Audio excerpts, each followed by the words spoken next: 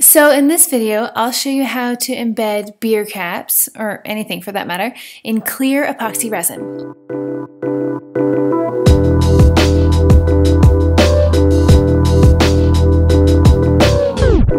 Beer caps custom printed with the Dragon's Den logo on it. You can use caps from your own beer, of course, but just make sure to drink all the beer. This is a two-step process and it's pretty easy. I have this wooden panel that I've just turned upside down. You just mix equal parts of resin and hardener together.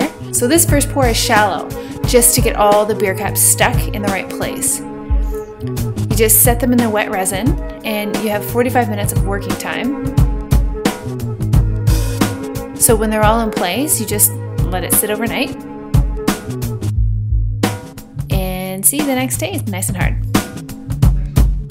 Just dust it off, make sure that it's level again, and get ready for the final pour. So this time we need to mix a lot more resin so that we can totally cover the beer caps and get a smooth, glassy surface. I use a torch to get all the bubbles out here, and then cover it with a pre-made box to protect it from dust and flies and cat hair.